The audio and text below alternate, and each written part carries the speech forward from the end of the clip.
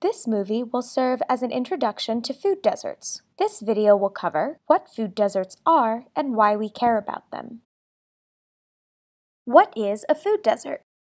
The Universal Declaration of Human Rights is a crucial international document stating the rights and liberties all human beings are entitled to. It states that all individuals should have a standard of living that allows them to satisfy their basic needs, like shelter, food, and water, among many other things.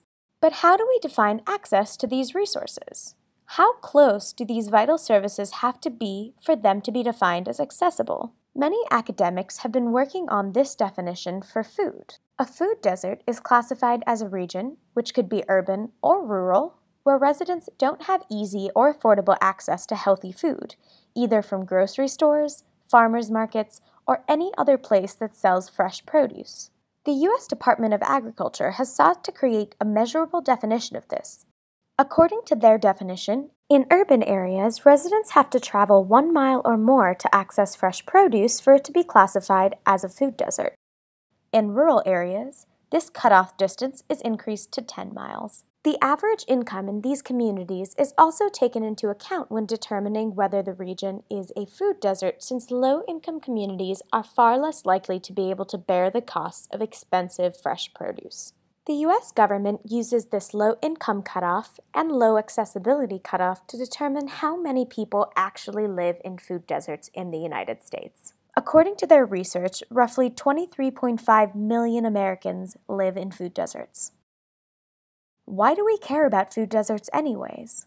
Food deserts are becoming an issue of growing importance in the United States because of the implications they have on health and welfare of populations.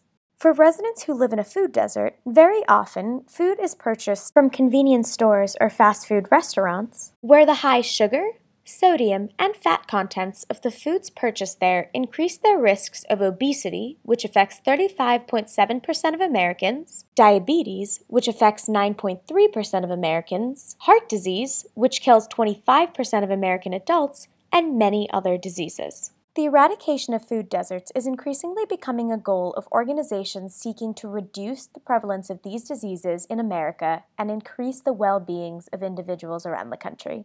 In conclusion, Food deserts are areas without easily available healthy foods. Roughly 23.5 million Americans live in food deserts. And food deserts contribute to the onset of major disease epidemics in America. Thanks for watching. I hope you liked my video.